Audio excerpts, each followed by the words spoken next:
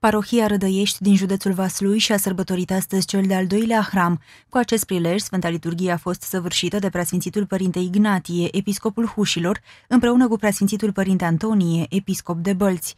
În cuvântul rostit după citirea Sfintei Evangheliei, Preasfințitul Părinte Antonie a arătat că Sfântul Voievod Constantin Brâncoveanu este un exemplu de conducător credincios. Pentru noi, Sfântul Constantin rămâne și ca un uh, model în mod special pentru cei care au funcții de conducere.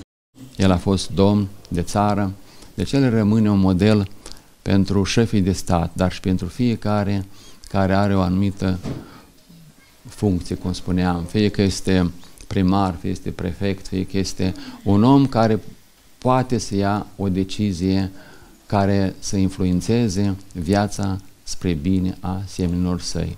Și de la Sfântul Constantin învățăm că, în primul rând, să avem grijă de seminii noștri, să-i ajutăm să se apropie de lumină, de adevăr, să îngrijim Sfintele locașe și să arătăm prin aceasta că iubim, iubim pe, pe Dumnezeu. La finalul Sfintei Liturghii, preasfințitul Părinte Ignate a afirmat că atunci când îi pomenim pe sfinți, preluăm de la ei modul de viețuire. Întotdeauna când facem pomenirea unui sfânt sau unor sfinți, inevitabil preluăm și noi ceva din modul lor de viețuire, din Duhul lor de mărturisire.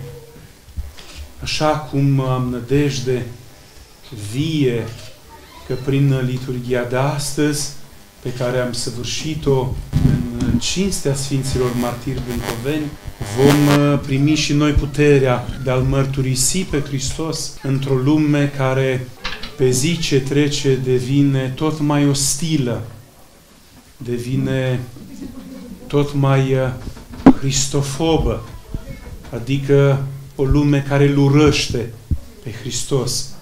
Și de aceea avem nevoie de aceste exemple minunate ale Sfinților Martiri, brâncoveni, care n-au pus nimic mai presus de credința lor. Biserica Parohiei Rădești este singurul locaș de cult din Episcopia Hușilor cu hramul Sfinților Martiri Brâncoveni.